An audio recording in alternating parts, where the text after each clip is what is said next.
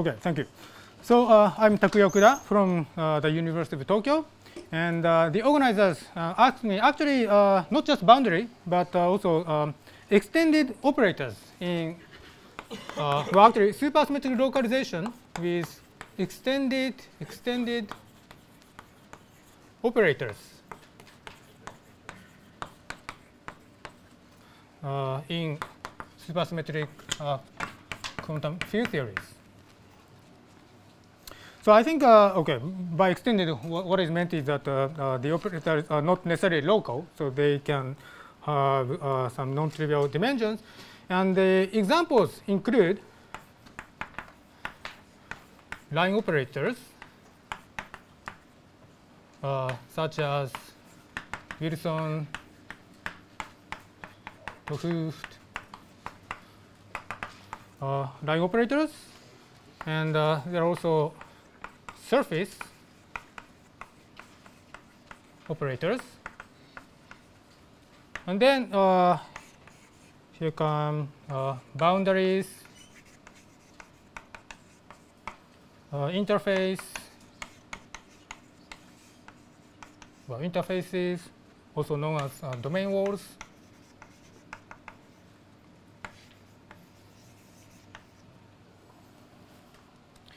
And uh, we can also have a coupled system.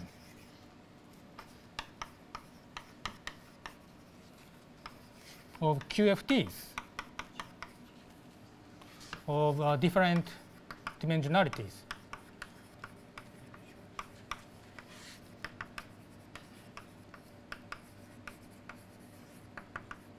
I think I can include them as um, examples of uh, extended operators in quantum field theories. Um, and, uh, and we, we, can do various things, and uh, um, we can indeed uh, do supersymmetric localization with uh, these extended operators. And also, uh, they play significant roles in the, the 2D, 4D, or AGT correspondence, or related 3D, 3D correspondence, and so on. And these objects are also important in uh, other uh, contexts, such as conformal bootstrap, uh, holography, and so on. And maybe most significantly, especially the, the, line operators or loop operators were first introduced as order parameters uh, of uh, gauge theories. So uh, the behaviors, the, the, the, behaviors of their expectation values or correlation functions as, as functions of some parameters uh, uh, can be used to classify possible phases of quantum field theories. And so today, I will focus on uh, the boundaries and the interface, well, the mostly boundaries in uh, two dimensions. So this is the topic of today. And uh, well, at least my current plan is to talk about line operators, uh, Wilson and 't Hooft operators in four dimensions uh, tomorrow. That's my plan.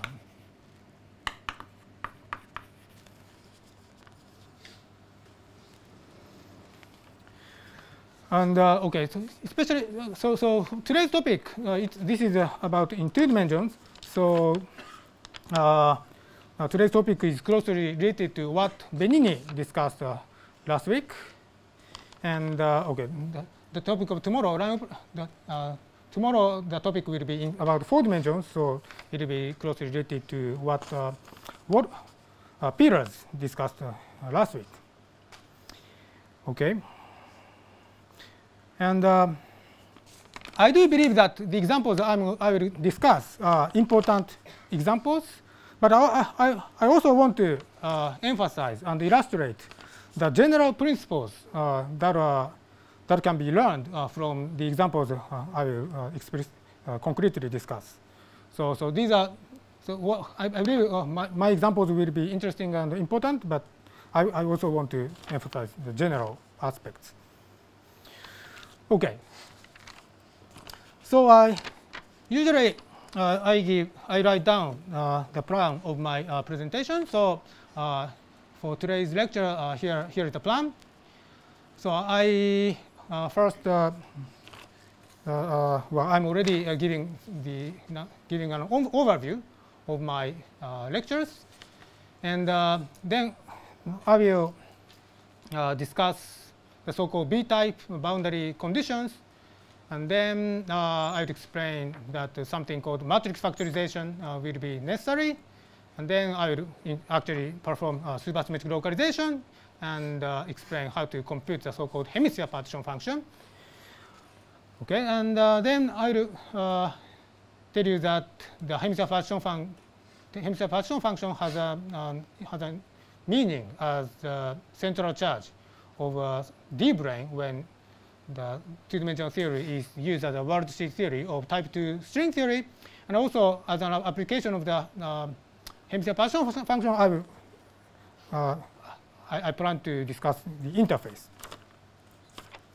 Okay. Uh, and uh, uh, of course, questions are welcome, so uh, feel free to feel free to stop me and ask questions anytime. Okay.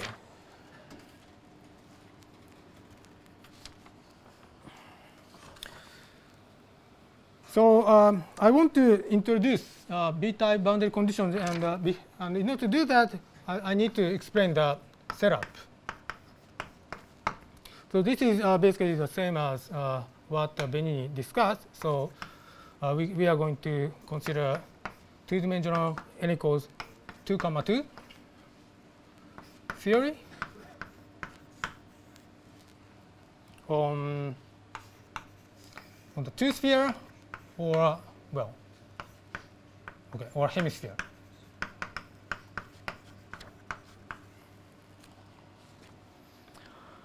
Uh, all right. Uh, actually, I want to give you references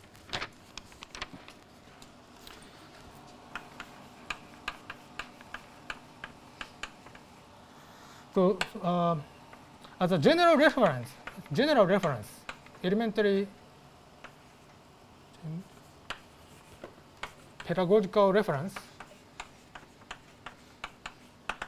uh, I I give you uh, section 39 of a textbook uh, mirror, called mirror symmetry. Uh, written by uh, Hori and other people. Uh, well, you can Google, uh, you can Google mirror symmetry Hori, uh, and then you can find the PDF from uh, Cray Mathematical Institute. That's true. Uh, That's the book. Yeah, but, but this is the book, yes. okay, maybe you can put the Cray, Cray and then uh, you, you, you'll find a PDF. Or you can, you can get it from Inspire. Um, so this is a textbook, and uh, the, the actual content of my lecture today will be uh, based on, uh, on my paper on the hemisphere partition function. Um, and actually, on the hemisphere partition function, there are three papers Uh, one is by Sugishita and Terashima. Terashima was here last week.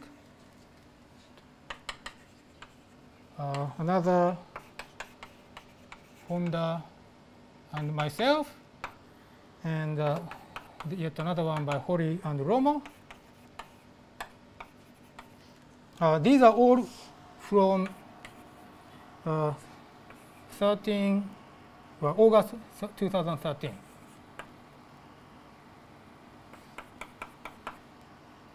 So basically, these papers were um, posted on the arXiv simultaneously. And uh, um, of course, so, well, so naturally, I will be uh, mostly using the conventions of my own paper. Um, yes. And the conven our convention is very similar to um, uh, uh, Doru, Doroud, Benini, uh, sorry, Doroud, uh, Le Floch, uh, Gomis, and Lee were using.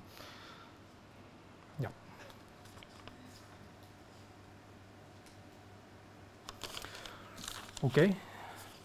So, um,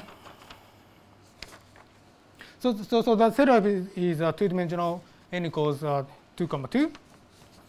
And uh, uh, because uh, we are on a curved manifold, uh, we want to consider uh, some background, supergravity background.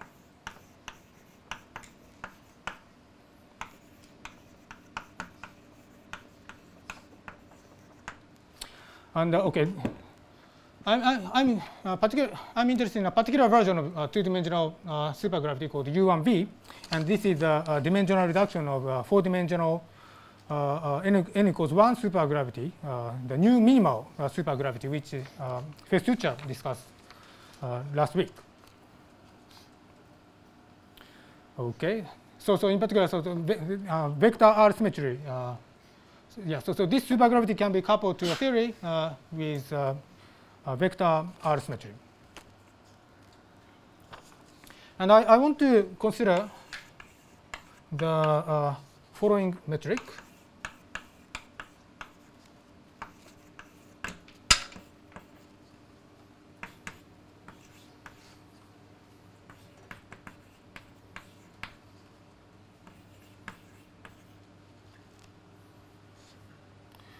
So um, see.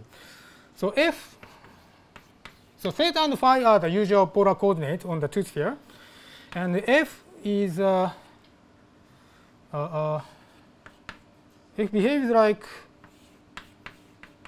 like this for theta close to zero, and uh, okay because we are because we are interested in essentially the hemisphere. Let's say I want to uh, restrict to well actually okay. Um, yeah okay so this is the beha behavior for theta uh, near near zero and uh, okay. On, on, the two sphere um, theta takes value between zero and pi and phi uh, takes values between zero and two pi as usual. Okay and uh, sometimes I will use the, the vielbein. So, um, and, and I will be using a, the hat to denote the, the frame index. So, so this is the index for the uh, uh, vielbein. So, so E1 hat is f times d theta, and uh, E2 hat is L sine theta d phi. Okay. Um, well, if f is simply uh, L, then this is this corresponds to the round metric of radius L, and uh, we may also take L squared cosine theta cosine square theta plus L tilde squared sine square theta, where uh, both L and L tilde are some parameters, positive parameters. And uh, this uh, is also a good example of, of f.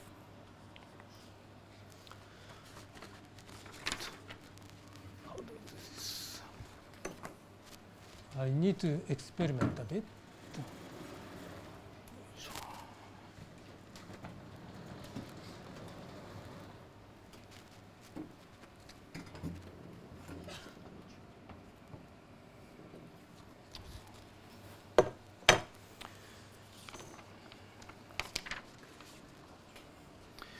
And uh, okay, we have we also have U1 R symmetry uh, gauge field. So VR, so this is a, a one form, 1 minus L over f of theta d phi, like this. And if you remember, uh, I think from uh, Benini's talk, um, this supergravity, this version of supergravity also contains uh, something I think he, uh, uh, he denoted by H.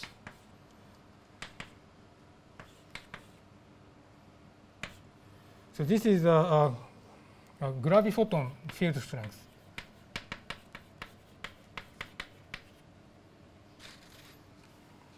And this is Okay, this is uh, proportional to 1 over f.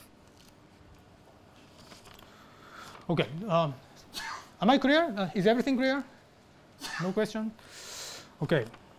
So, do you know what data the partition function is going to depend on? I mean, for example, in the 4D case, Guido was explaining that it depends only on the complex structure, etc. So, it- oh, do you know if the similar analysis is being done specifically in 2D and what the conclusion is? Well, I know the result of the localization calculation, and uh, let, us see. Um, yeah, it, it depends on the context, but for example, for the Hem Hemisphere partition function, in the conformal case, there is an analysis uh, using the super wide anomaly by uh, Backus and Plenkner, and uh, uh, uh, they showed that uh, it, it depends holomorphically on the Kähler, basically Kähler module. I see. And uh, yeah, so, so and, and here I introduced deformation, so L and L tilde. But uh, um, So, do you know if they exhaust all the, all the deformations of S2? Which, so S2 partial function, uh, there is no analog of B for S2 partition function. Yeah, so uh, here I introduced the deformation, but the partial function actually is independent of the deformation. So, so it's actually enough to uh, compute the partial function on the round, round, round sphere.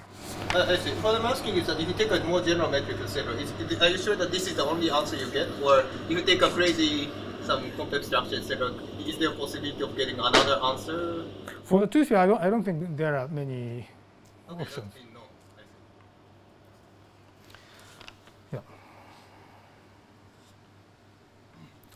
Okay. Um, So this background field becomes singular when theta sorry, say that again. No. goes to zero. You say when theta goes to zero, f theta approaches to n. Yes. So then it becomes zero. Uh, this one? Yeah, yeah, instead of a singular point. Yeah. So right. So so yeah. In, indeed, f goes. Yeah. Uh, this part becomes zero uh, at theta equals zero, and that's necessary for the uh, uh, for this gauge field to be smooth, because this is a is an angular variable. Yeah. Um, I think I'm going actually too slowly. So um, okay. Uh, now. Um, I should now write down the generalized generalized Killing uh, spinor. Okay. Can, can you read? Okay. So um, so this is a, a condition for uh, supersymmetry to be preserved.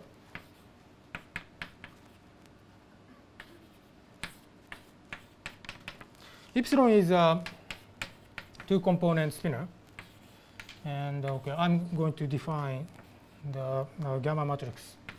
Gamma matrices soon. So there are now uh, two kinds of uh, spinors, epsilon and epsilon bar. So minus 1 over 2f, gamma mu, gamma 3, epsilon bar.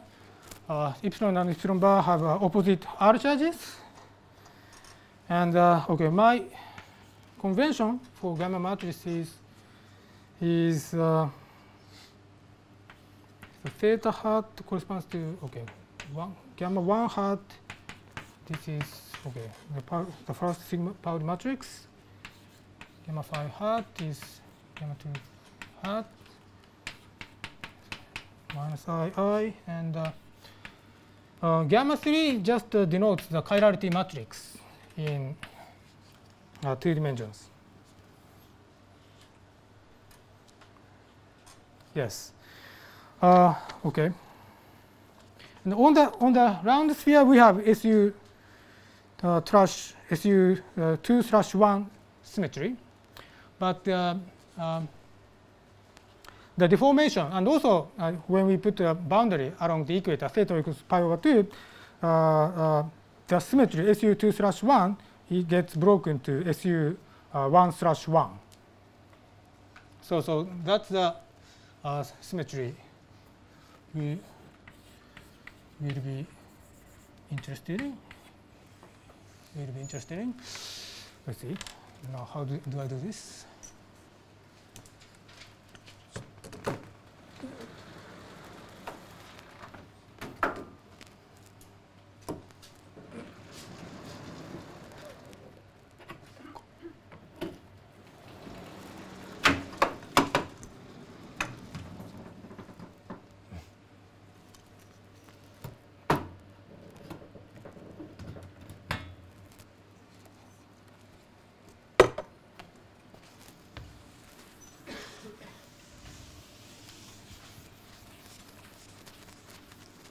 So I, I will be um, considering very explicit uh, uh, spinors, supersymmetry parameters.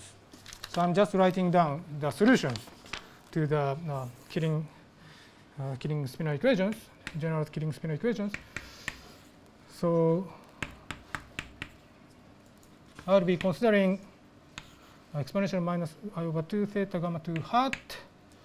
Uh, so this is a matrix and it acts on uh, exponential of i over 2 times phi 0 and uh, bar equals i over 2 theta gamma 2 hat 0 it is minus i over 2 phi. Yeah, so um, so these are the uh, general Killing spinor equations, which I wrote down, and uh, they all and um, uh, and if you compute the supersymmetry transformations, and then the, you find that the supersymmetry squares to bosonic symmetries, and uh, uh, and the, the bosonic symmetries involve some uh, killing Killing vector field. So it, gives a rotation of the sphere. And uh, the rotation is such that the, the boundary at theta equals pi over 2 is, uh, is preserved. Okay. Yeah, so um,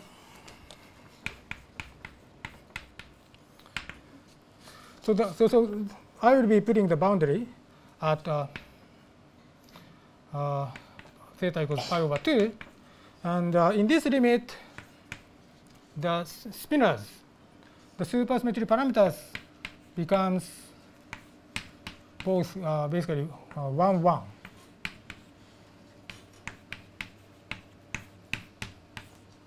Uh, up to R symmetry transformation. Okay, this is because uh, gamma 2 uh, Uh, uh, hat is a, a, two by two matrix, and uh,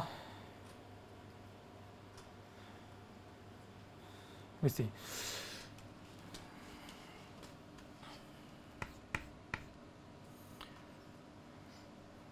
And if we set x1 to be L tilde times theta minus pi over 2 and x2 is uh, L times phi, then uh, locally near the boundary, the system looks like this.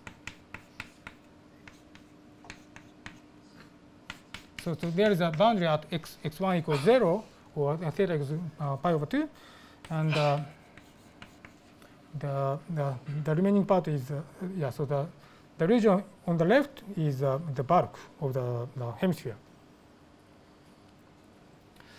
Okay, and uh, if you, okay, I haven't told you the rule, but uh, if you compute the uh, supercharge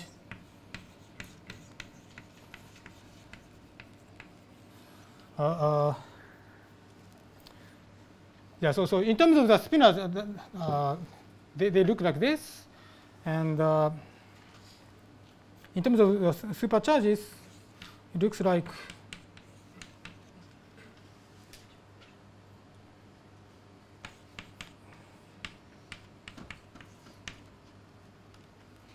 Well, so in the in the convention of in the convention of the, the textbook, mirror symmetry textbook, it looks like this.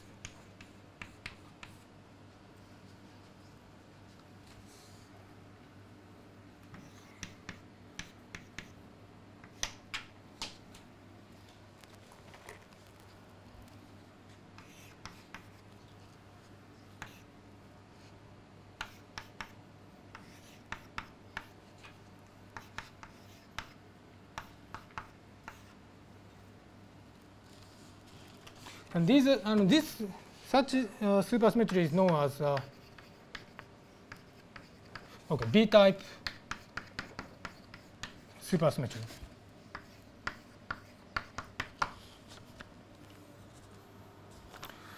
Um, so yes. Why do you have to put the boundary at?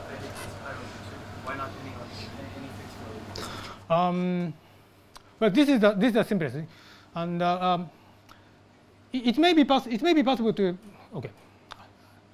I think it, it's an interesting question whether one can actually uh, put a boundary uh, uh, some somewhere else, and uh, um, at least in the at least uh, uh, some interfaces can be put uh, at, at at places other than the equator. Like the for, I know that for example the Wilson loop can be placed away from the equator. So so um, uh, I think it's an interesting question whe- whether one can uh, put a, a boundary somewhere else and and, uh, and for example do uh, lo- supersymmetric localization. But um, I don't yeah I don't know uh, for sure wh- whether uh, one can do localization for with a boundary at a more general location. But this, so this is a choice, and the, and this choice is nice because the supersymmetry locally looks like a B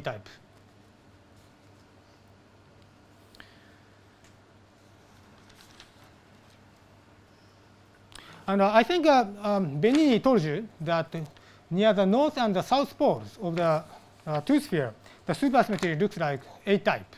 So, so the theory looks like a, a, model. And uh, but now, now uh, the- if we consider a boundary along the equator, then the supersymmetry there is a B type. So if you consider, so, so for me, the, the aim uh, of this talk is to compute the hemisphere partition function. And uh, so this partition function then, okay, how do I do this? Uh,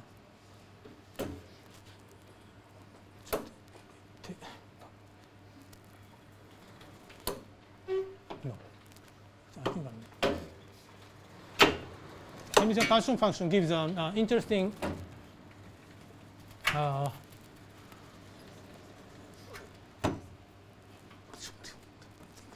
okay, I think I'm doing bad.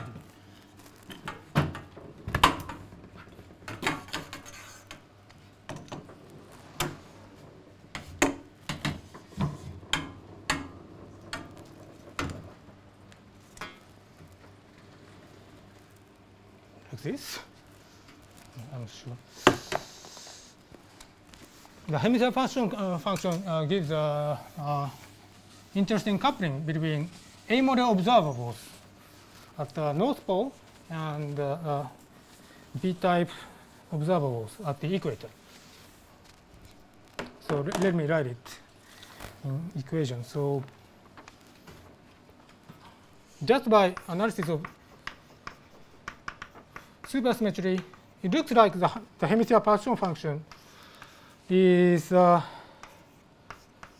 is of this form. So so so something that depends on the boundary or boundary condition. It's a, so it's a, uh uh brane. It's a D brane uh, preserving B type supersymmetry. So it's called uh, B brane. And uh, uh, on the north pole we have A model. So that means that if, if we do not insert any uh, operator, then it corresponds to the identity operator. And uh, the algebra of, of operators of, of uh, topologically twisted A model is called the, the, the AC ring. So the hemisphere partition function appears to be computing a coupling, uh, coupling like this, coupling or pairing like this. And uh, I think I, I, I will come back to, to this later. So, so so my, my goal is to uh, compute this, uh, this partition function.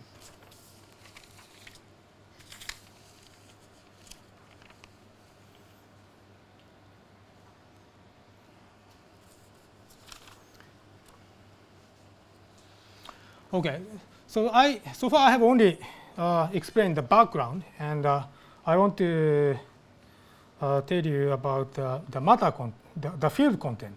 So we have we have a vector multiplet.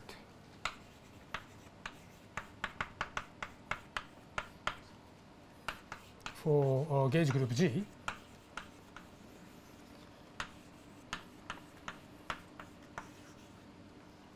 And this includes the gauge field A mu, uh, two real scalars, sigma 1 and sigma 2, and there are gauge ini, lambda alpha and lambda alpha, alpha bar.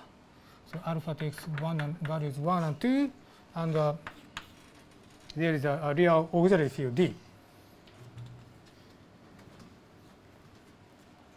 And then we also consider the chiral multiplet. And it's, uh, well, in representation. In representation R of G. And the fields are uh, phi, psi, alpha, and f. Okay. So these multiplets have already appeared uh, in the lectures uh, last week, uh, I think many times. Okay.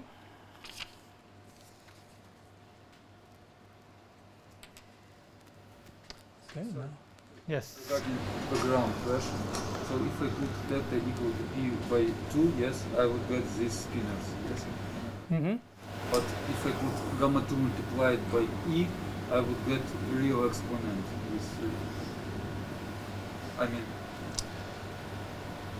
how, how exponent disappear? So, so, um, so, so you- you- you're asking about the computation from here to here?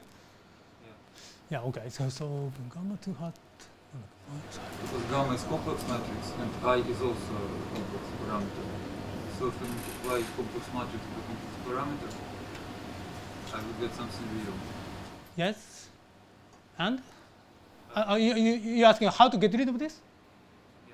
Yes. This this is by uh, R symmetry Ah, gauge transformation. Okay. Yeah. Right.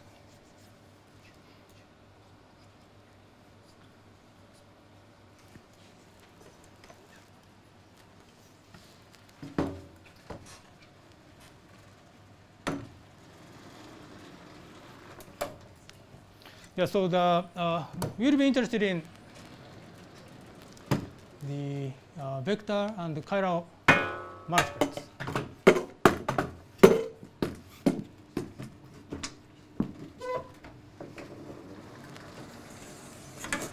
So this is actually relatively complicated.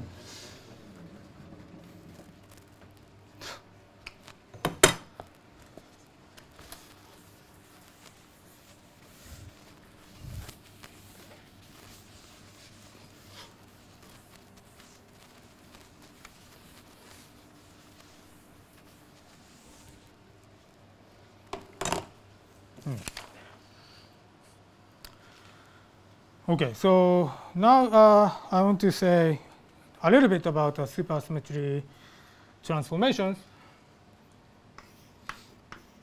Well, I I'm not going to write uh, all of the transformations.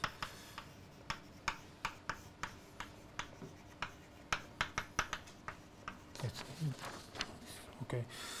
Uh, so, for, for example, for the vector multiplet,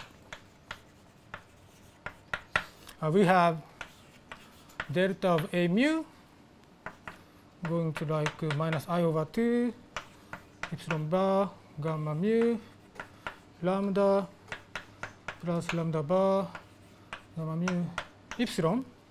And uh, my convention is something like this. So uh, for example if i write epsilon bar gamma mu lambda lambda then this means that so epsilon bar alpha with upper index. Now gamma matrix has uh, lower left, up, uh, upper right, and lower right uh, index for the spinor.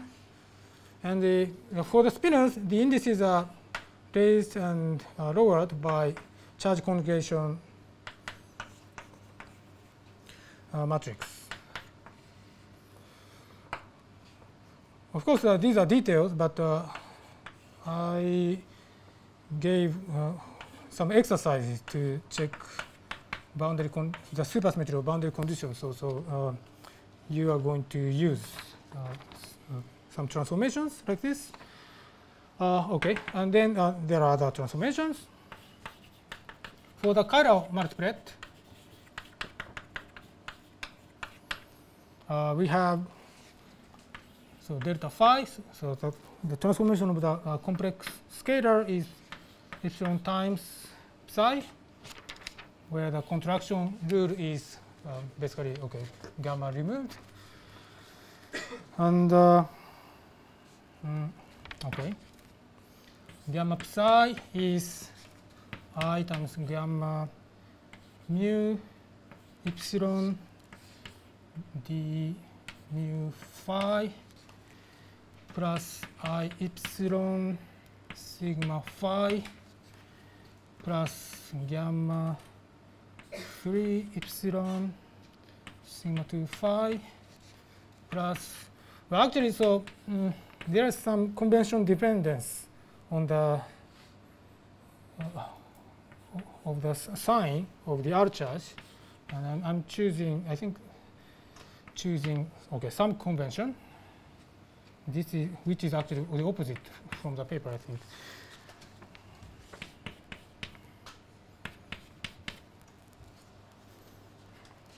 and then okay there, there is some formula for delta f like this uh, okay Excuse me, are these transformations just like those on the sphere?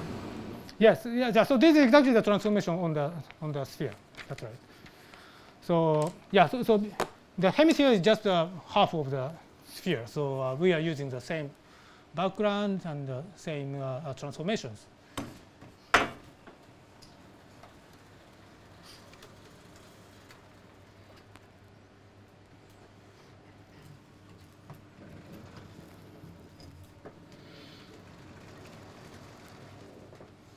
Yeah, and, uh, and I'm doing, I'm considering the boundary in two dimensions, but uh, the story uh, can be repeated in other dimensions, like three and four dimensions, and people have indeed uh, uh, studied uh, uh, localization on such uh, such spaces. I mean, they, people have considered hemispheres in well, four dimensions definitely, and in three dimensions, I think people have considered um, S1 times two-dimensional hemisphere.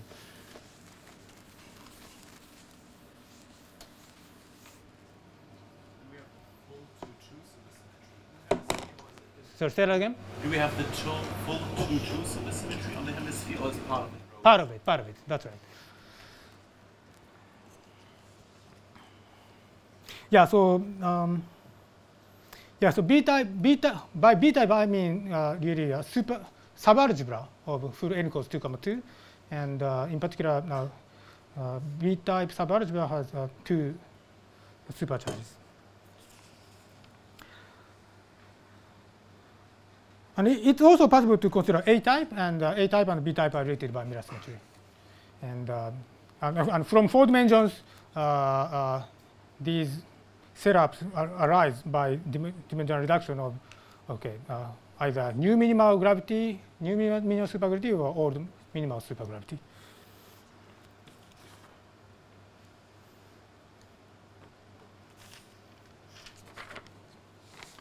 Okay. Now, okay. Now I want to write down the uh, supersymmetry boundary conditions. Okay, B type.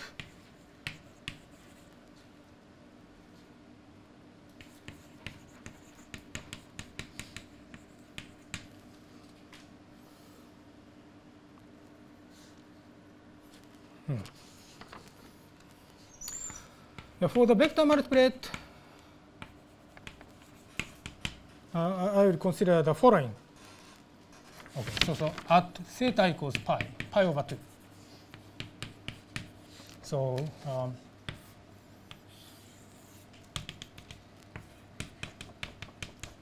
so, so we are considering the field here. Okay. Uh, so we require that uh, field satisfies the following.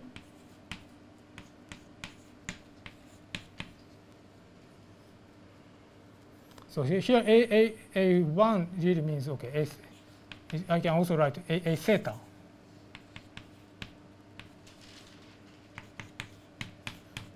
And by bound, bound, boundary condition, we require that the field strength is 0 at the boundary.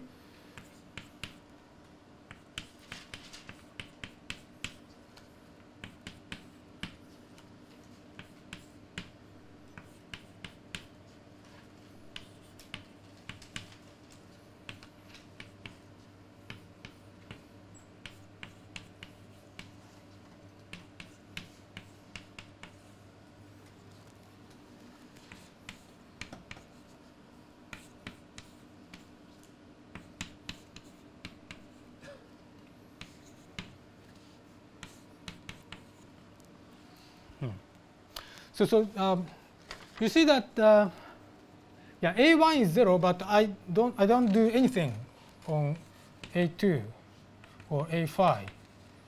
Uh, well, except that, okay, essentially uh, this is a, a, Neumann boundary condition on A5. So, so uh, this preserves, this actually preserves gauge symmetry along the, along the boundary. So, so this is the boundary condition I want to consider. But it's also uh, possible to consider a, a, boundary condition that breaks symmetry, but uh, I'm not going to do that today. Okay. Uh, so this is for the vector multiplet. Let's see.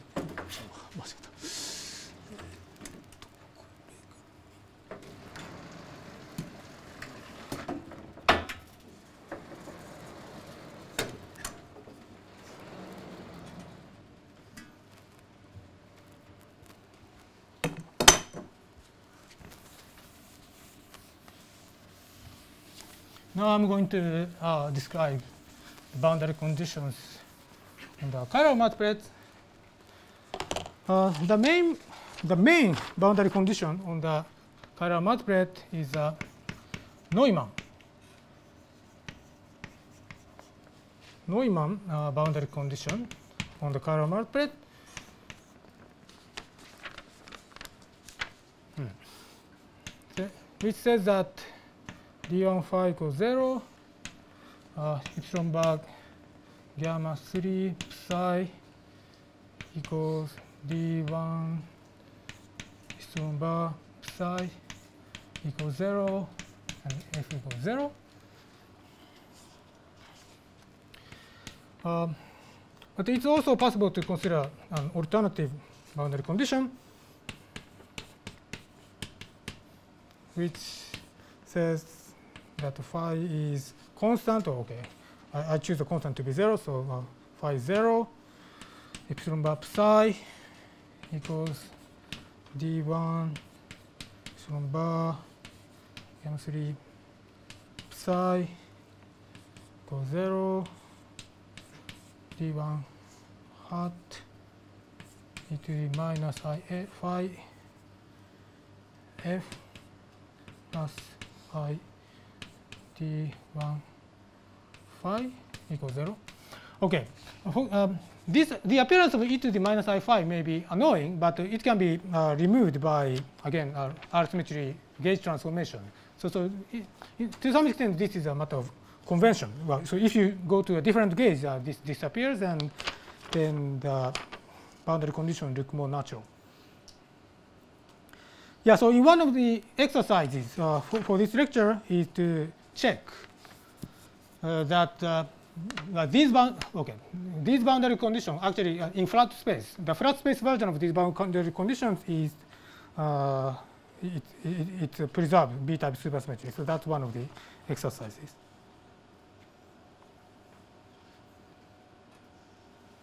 Okay. Are, are these boundary conditions uh, elliptic? In other words consistent with the equation of motion i mean the, mm -hmm. was raising this issue the other day I see. Okay, so uh, the way it's written, uh, these are not elliptic, I think, because uh, I think imposing these uh, differential boundary conditions on the fermions is, uh, I think, it's too strong. Uh, if you try to solve the um, to, to, to, if you try to form, formulate a, a variational principle. Yeah, but uh, for supersymmetric localization, this is this is enough, and that's what I'm doing. Yes. I see. So somehow it's hard to do the perturbation theory under the path integral, but you can nevertheless localize to final dimension. Yeah, so I think in, this case you, you can actually just remove the well at least for the Neumann I think you can just remove this this, uh, this part. Yeah.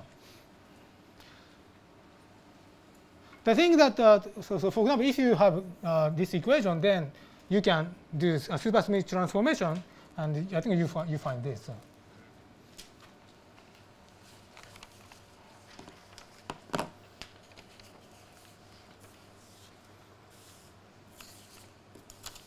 Right. So yeah. So if you if you want to do perturbation theory, then uh, uh, you need to be more careful about uh, the boundary conditions.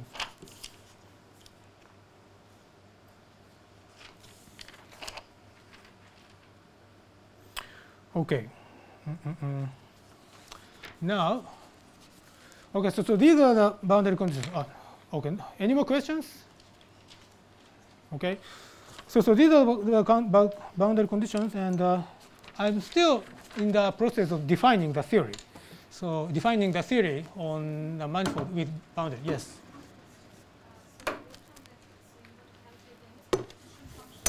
Sorry, I can't see you. You want to calculate the hemisphere partition function, which is the inner product of the B brane state with the identity of the AC ring. hmm But at the moment, it's just a gauge theory, so you don't even have a superconformal algebra. I, I don't have what? You, so you I don't- At the moment, you're just at the level of the gauge theory. Yes. So you don't have the n equal to 2 superconformal algebra, right? Right. So where do you get the AC ring from? I get oh A- AC ring. Yeah. Uh, yeah. So. Yeah, yeah. So the, the question is uh, the following. So so I, I wrote that the hemisphere partition function equals the overlap between um, uh, the B brane state and the identity operator in the AC ring, and uh, but, but she pointed out that uh, I only have a gauge theory and I don't have superconformal symmetry. So uh, how, does it make sense? So that's the question, right? Um, yeah. So. Mm, mm, mm. Did I, did I, well, what I, what I meant was, uh, so th that was a rough uh, equality, and actually, I, I probably should have put on a question mark whether that uh, uh, equation is true or not. And uh, uh, yeah, I, I was going to mention it late, later, but I can I can tell you now. Um, so we are considering a, a theory, and in some cases, so so we, so with the uh, right uh, matter content and uh, uh, charge assignment, the, this gauge theory can flow to uh, uh, super conformal field theory. And then the let's see. Well, historically, the, once you get the formula for the hemisphere partition function, from known examples, it was apparent that hemisphere partition function compute uh, something called the, called the central charge, which can also be written as the overlap between the B-type B- uh, uh, B-brane boundary state and uh, the identity element in, yeah, in the AC ring or the Ramond or the Ramond-Ramond ground state. So, so, so when we wrote uh, these papers, uh, it was a conjecture that the hemisphere partition function computes such an overlap. And um, more recently, uh, I've already mentioned, uh, there, there's a, uh, there's a work by Bachas and Plencner uh, which use, uses um, the sup- super Weyl anomaly to show that uh, this conjecture is actually true. So, so it, it's, it's not trivial. It's not trivial that uh, the, the calculation in gauge theory actually computes the overlap between the, the, the boundary state and the, identity operator. But uh, it, it, it can be shown inde- independently. Yes. I have a related question, but it's much more elementary. Yes. Usually, I would expect the hemisphere partition function to be a state rather than a rule number. Why, why do you expect To be a state. just state, just a state? Uh, I would expect a half integral on n uh, Right. Do we Okay. So, so the, the question is, uh, why is a, uh hemisphere partition function is uh, uh, i- i- is a number rather than a state? yeah, so, so I think what is meant is that, uh, yeah, so path integral on a, a manifold with boundary can indeed uh, uh, represent, it can indeed represent a, a, wave function, right? So, yeah, so, so but, but uh, yeah, so in general, in quantum field theory, so it's good uh, because I need to emphasize the general principle. Uh, in, in, quantum field theory, uh, we need to distinguish two kinds of boundaries. Uh, so one, yeah, I forgot the general name, but okay. One type of boundary condition uh, supports a uh, state, actually normalizable state in the Hilbert space. Okay, so, so, so some, some type of boundary on the manifold represents, well, on space-time represents a state. On the other hand, uh, there are boundaries uh, that are really boundaries. So these are not uh, an inter intermediate state, but, but, rather it, it, corresponds to the end of the world. So, okay, so, so, so some, some, some, some boundaries in quantum field theory are end of the world. And uh, so, so, and here we are uh,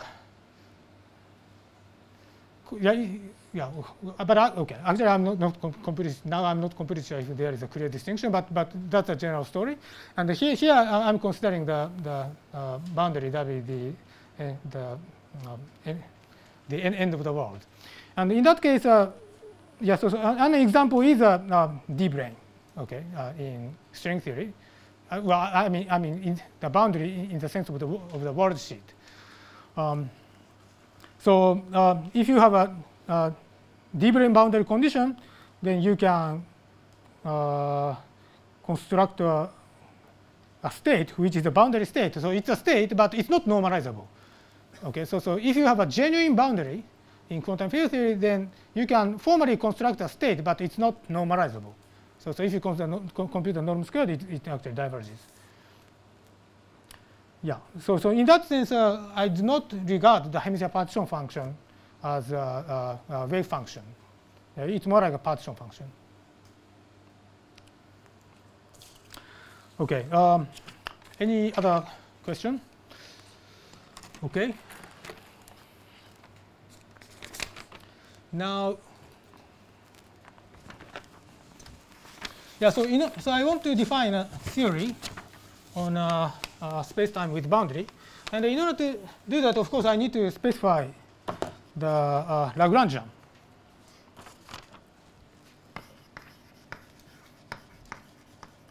Lagrangians and uh, actions. Uh, okay, I'm going to write action. Well, actually, yeah. So, so, and there, there are two types of actions. So one is a physical action, and the other one is a, localization action. And uh, the theory is specified by the physical action, and uh, it takes the form uh, so the vector multiplet part, the chiral multiplet part, uh, the superpotential term, uh, theta, the topological term, and the Fi parameter. Okay. Uh, I think, yeah, so, so basically these are I think I, am I'm, I'm going to omit uh, uh, giving uh, these explicit expressions because uh, they were essentially given in Benini's talk, I think. But uh, there is one point. Probably at least one. Yes. One term then write explicitly. Okay. Yes. Okay. okay. Good. Yeah. So the the only important part is uh, the superpotential term, which looks like Fi diw, where, okay, where W is a superpotential. So it depends on uh, phi.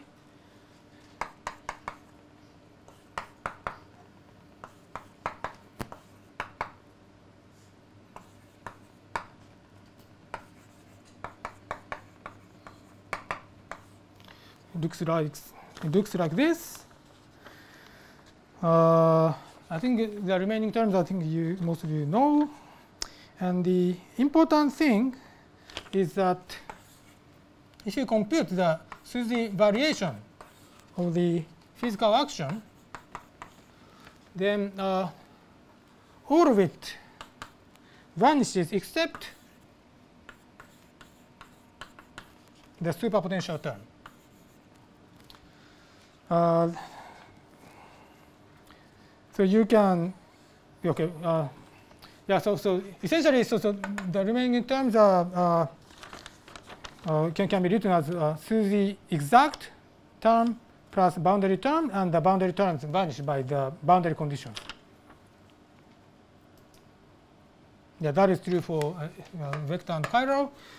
Uh, okay, so the theta term actually needs to be uh, supersymmetrized, and if you do that, uh, yeah, it's supersymmetric, and the Fi term can is also well.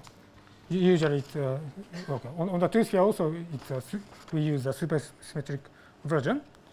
Well, mean, it's a supersymmetric, yeah, uh, supersymmetric action on the two sphere. Yeah. So so anyway, what's important is that the superpotential the SUSY variation of the superpotential term um, is uh, it's not automatically zero. And uh, this, yeah, it, this looks like epsilon gamma mu psi i del w plus conjugate. So, so it's a, yeah, so it becomes a boundary term.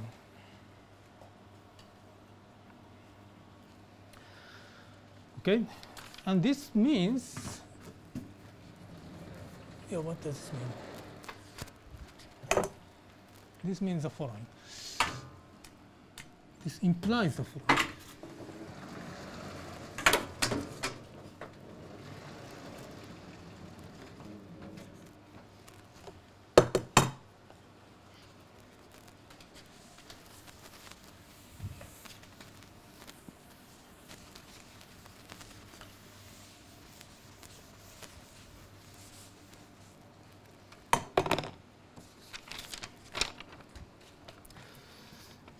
So the Hermitian function, well, is supposed to be yeah, given by uh, the path integral over field configurations uh, subject to B-type boundary conditions.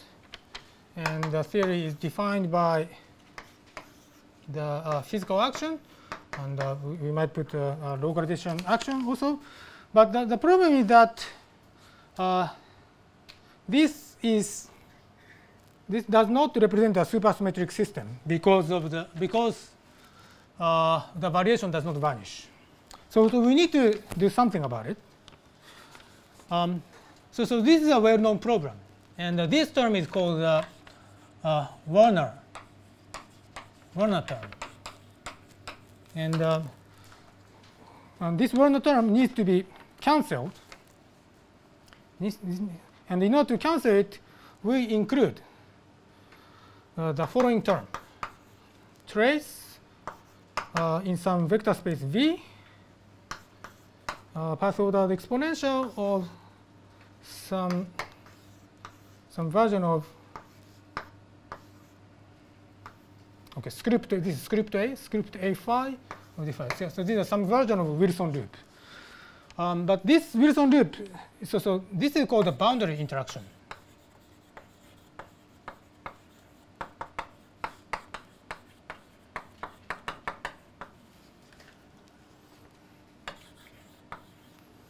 Um, and this looks like the usual supersymmetric Wilson loop, A phi plus I sigma 2, well, in some representation uh, uh, uh, for this uh, for this vector space V.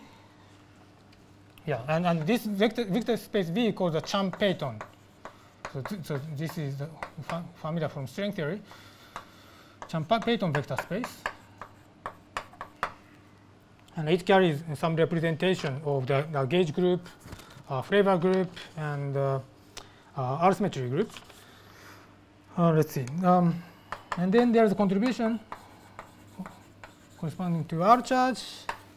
If there is a flavor symmetry, there is also twisted mass. Uh, so this is the okay. I didn't. I think I forgot to mention. Uh, twisted mass is a scalar component uh, uh, correspond for, the vector multiplet background vector multiplet for the flavor symmetry. Well, th- this was explained in Benini's lectures. Um, and now there is there, there are some terms that depend on what I call Q. And its conjugate Q bar.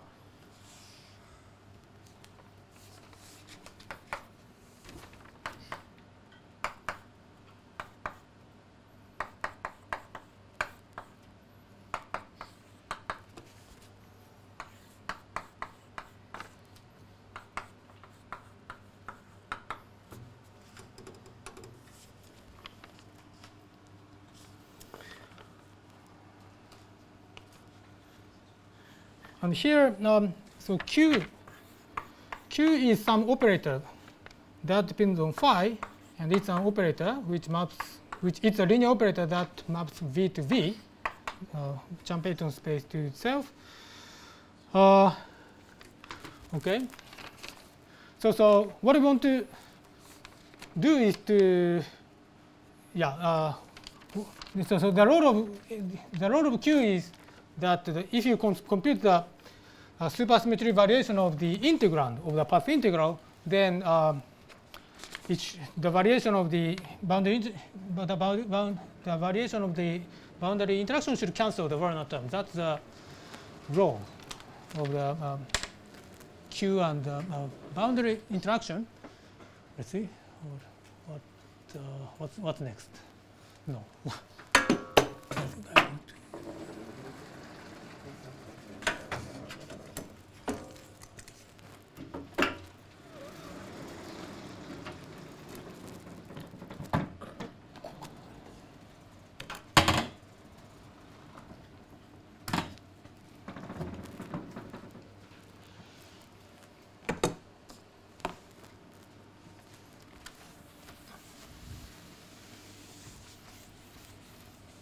It's actually an interesting computation, and you can.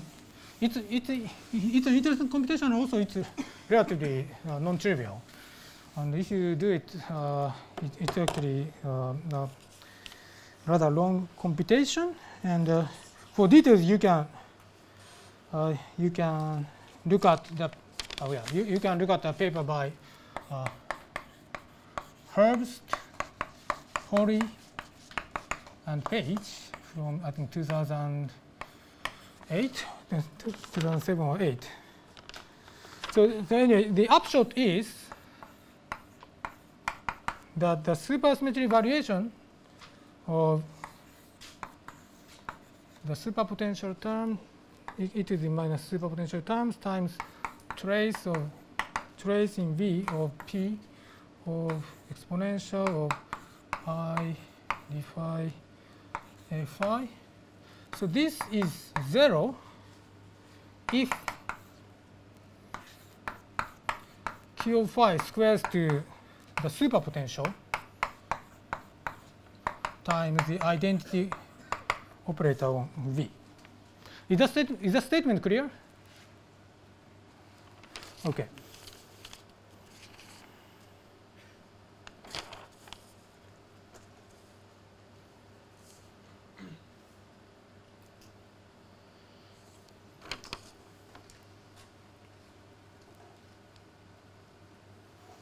Yeah, so so this is the uh, most important uh, property of this uh, operator Q. Well, it's also called the, the tachyon profile, or the okay, it's also called the matrix factorization. Uh, and uh, but uh, for, this uh, physically to uh, make sense, Q has to obey uh, some constraints. And okay, how do I? Okay, let me write it this way. So suppose that okay, so G is an element of the uh, okay gauge group and uh, okay, flavor symmetry group, which I denote by GF. And suppose that rho is a representation of a gauge group and, and the flavor group on the Chan-Paton space V. Then we need that uh, it satisfies the following. Yeah, so this is necessary for uh, the, for this to be symmetry, and we also need that uh, for for R symmetry. Yeah. Um, yeah. So there is a representation of uh, there is a representation of R symmetry.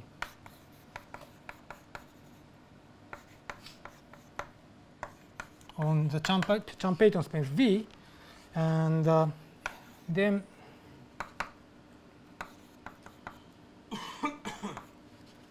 Q has to satisfy. Okay, um, this. So, so okay. By capital R, I mean the the action of R symmetry on the chiral multiplet field.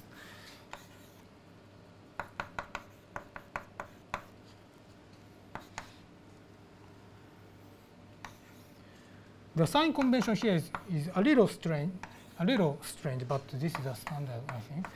This is a standard choice. Uh, so, so anyway, so, so these equations need to be satisfied. And uh, in the exercise, in the exercise, I give, um, I give, well, at least one example. And uh, okay, I didn't explicitly ask, ask you to do this, but you, you can also try to check uh, if uh, with, with, with, some appropriate choice of uh, representations, the, um, the, the example I give in the exercise actually satisfies this. And also I want to explain why this is called matrix factorization. So if the Chan-Paton space has a structure uh, So, so it, if it's Z2 graded, and actually yeah, it has to be Z2 graded, and yeah, okay, maybe this, okay, this is part of the actually constraint. So Q has to be Q has to be odd. So this is uh, one requirement, and uh, then we can um, uh, okay using this decomposition we can write Q as uh, block diagonal matrix with uh, non-zero entries A and non-zero uh, of diagonal entries A and B, and then Q squared equals V can be written as AB equals BA equals W times identity. So, so you, you see that, uh, yeah, so, so A and B indeed give a factorization of, the, uh, of this uh, holomorphic function W which is usually polynomial. Okay, so I have 18 minutes, right?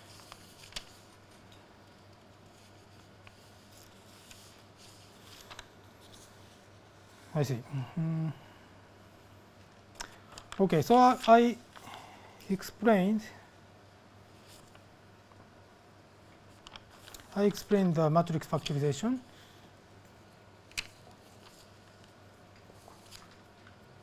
Now I want to perform a localization calculation.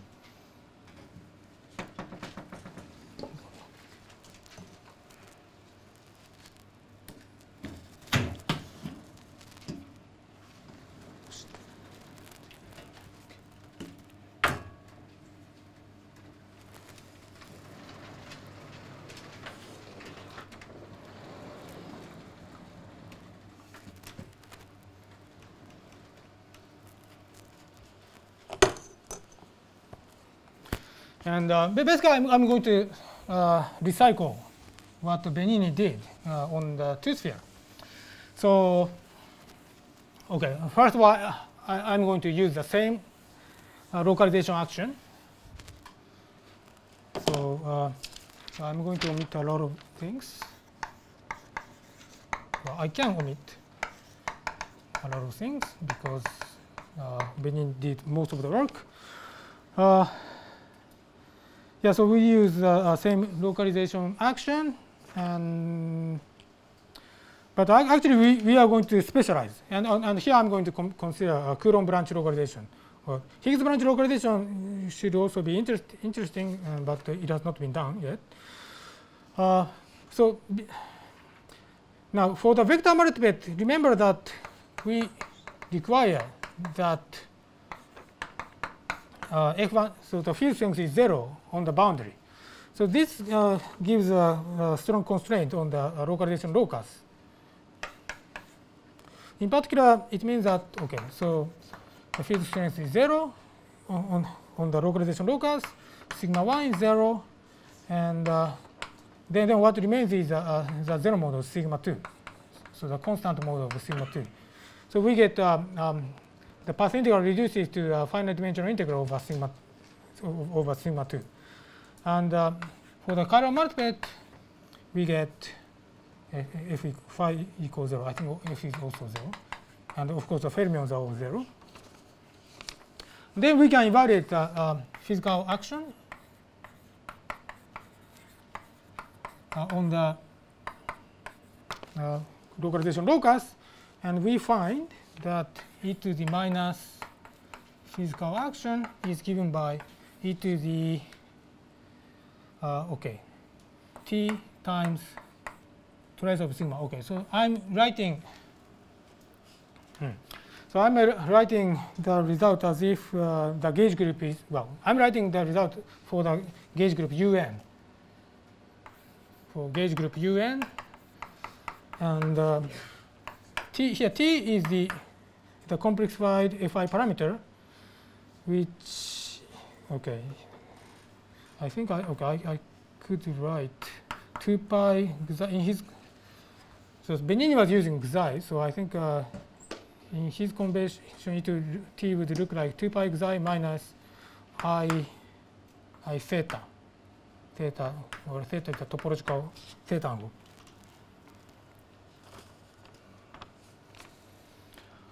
Okay, and uh, the boundary interaction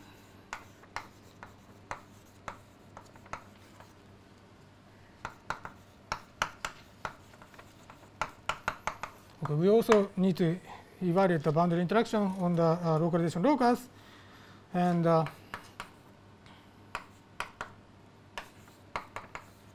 if you do that, you find that this is given by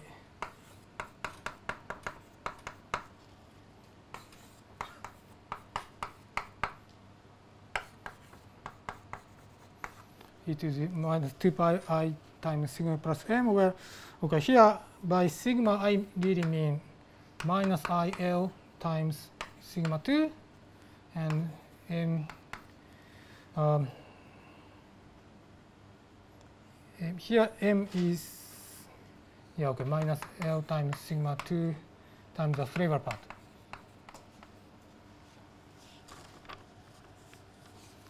Right. So this is the classical part. Okay.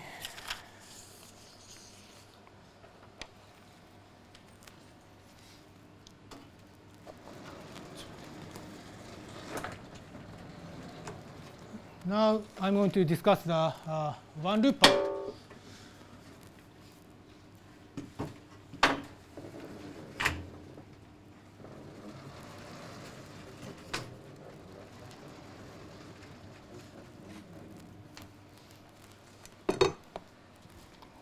The determinant. Yeah, so the general principle is the following. So, um, so we, without boundary, uh, people have already computed the one loop determinants, and uh, and the localization locus is also uh, a specialization of the uh, uh, sphere case. And now, uh, when computing the one loop determinant, we only need to contributions. We only need to keep contributions from the modes that obey the boundary condition. So that, that's what we're going to do. Okay, and uh, okay for the chiral multiplet and uh, with Neumann boundary condition.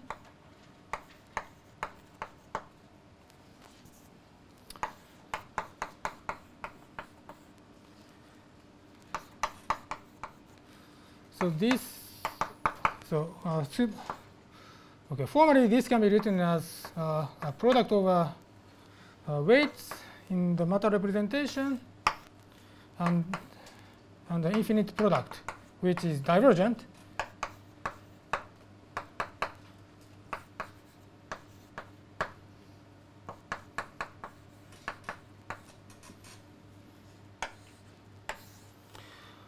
And uh, okay, as Benini did, we, we might do zeta function regularization and get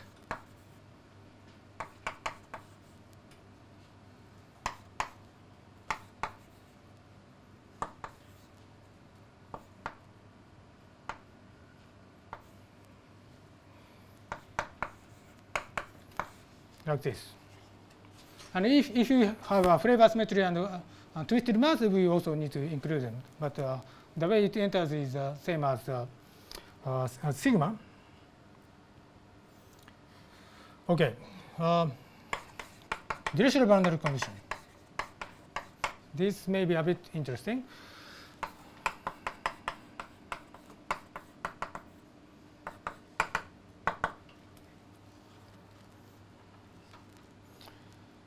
Um, okay. Again, we have a, a product um, um, weights, and there is an infinite product.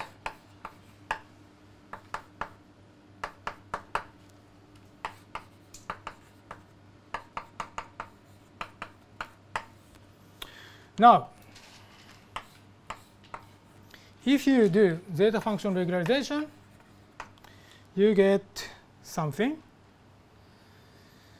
Uh, okay. 1 over gam gamma function, 1 over gamma function.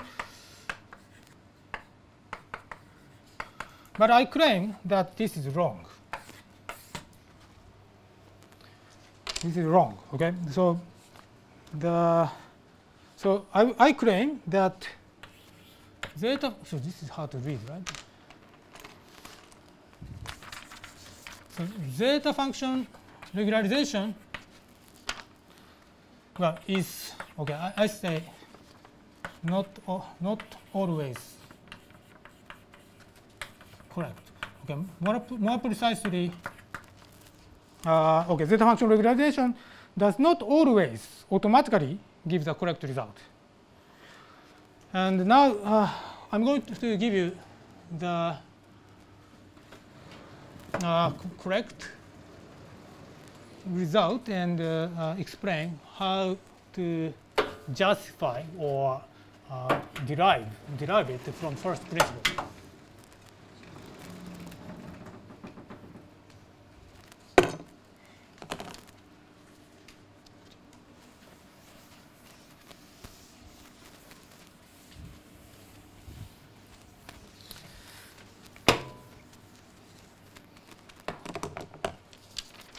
The correct one loop de determinant for the Dirichlet boundary condition includes extra factors.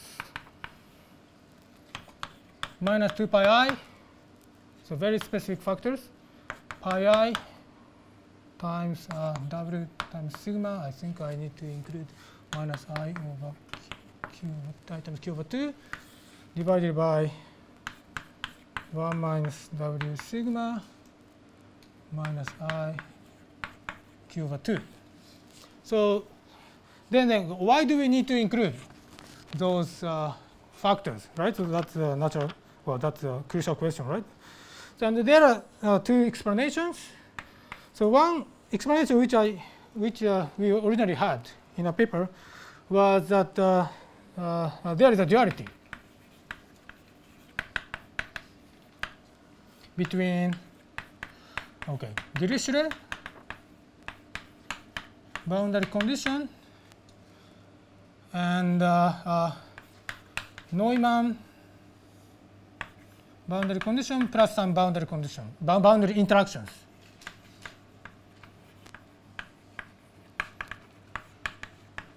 So yeah, so there is something called Atiyah-Bott-Shapiro construction of D0 branes and uh, uh, there is some known duality between the boundary conditions. And uh, uh, in order for, for the one loop determinant to be consistent with such duality, we need to include these factors. But there now, by now, uh, there is okay. It's, it's I have not published it, but there is a um, uh, uh, first principle derivation of this, which is uh, uh, Pauli-Villars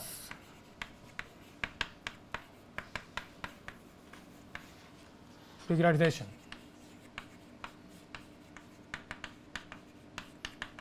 Yeah. Um,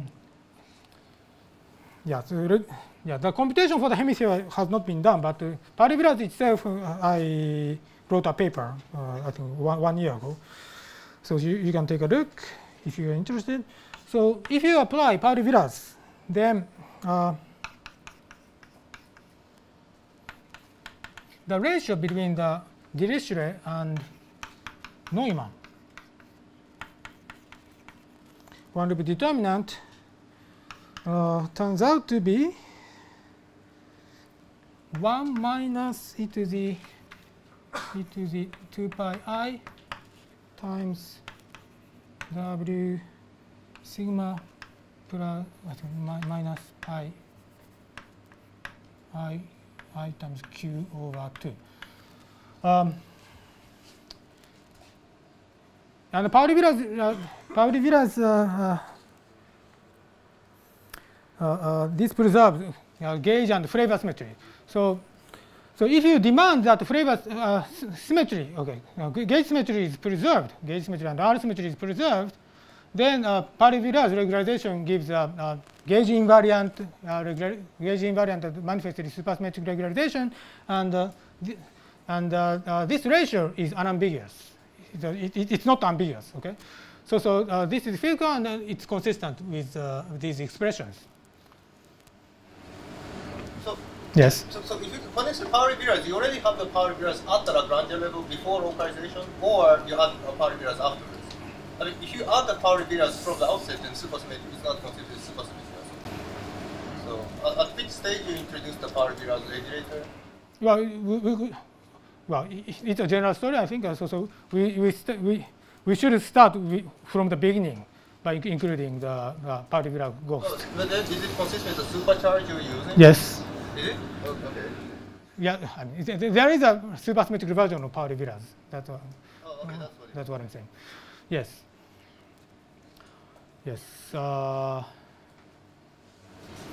Can you point out what's wrong with the zeta function regularization? Yeah, so yeah, so uh, in, in principle, there is no reason that uh, zeta function regularization should work. Okay. Um, yeah. Okay.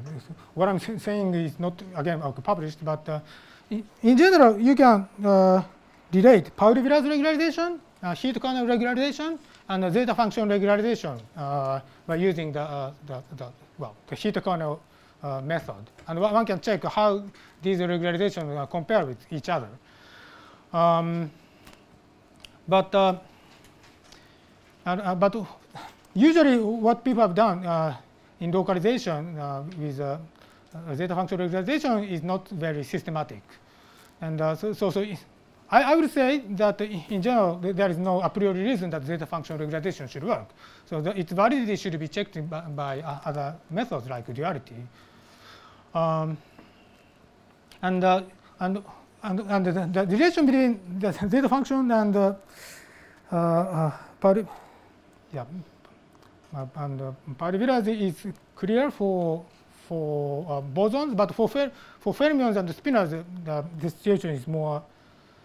Uh, yeah, yeah, so more care is, more care is necessary, and, it- and especially with in the presence of boundary, the situation is, is, is more subtle. Ah. So if you get the ratio of the with the Neumann, how you are sure which one is correct and which one is wrong? Yeah, so I mean, Pauli-Villars regularization pres- preserves the uh, symmetries, gauge symmetries. Uh, so, so, so if you if you are interested in results that are compatible with gauge symmetry, this is the correct result. But actually, uh, okay, uh, the, the, the Neumann Dirichlet boundary conditions themselves actually they they the boundary conditions themselves break some other symmetries like charge conjugation symmetry, and uh, if you if you want charge conjugation symmetry, if you give more pri priority to charge conjugation symmetry, then uh, you should uh, uh, you should combine some regularization method with the proper counter terms. So, so, in, so in, general, so two different regularizations are related by, uh, by choice of counter terms, okay? And uh, regularization and counter terms, uh, the combina their combination is the, the invariant thing. The, the, the physical meaning thing is the combination of regularization, UV regularization, and the counter terms. And uh, the, the correct choice should, should be made according to which symmetry you want to preserve. And if you want to preserve gauge symmetry, this is a um, so this is the correct result. Yeah. Uh, okay. I think I, I want to uh, give an expression for the vector multiplet and, and, stop uh, for today.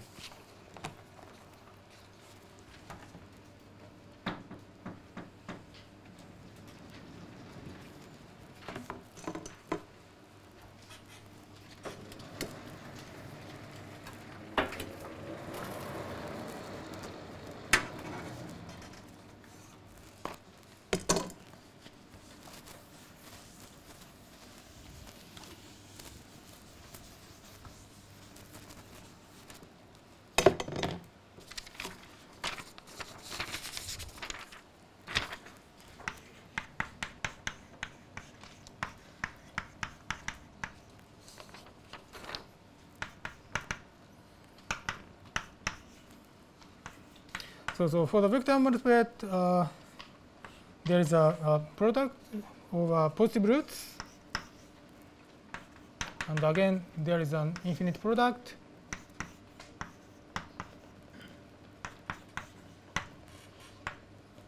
So this is alpha. Alpha is a positive root, like this. And okay, for this zeta function regularization? Gives uh, well just uh, well, compatible okay uh, consistent result. And uh, it is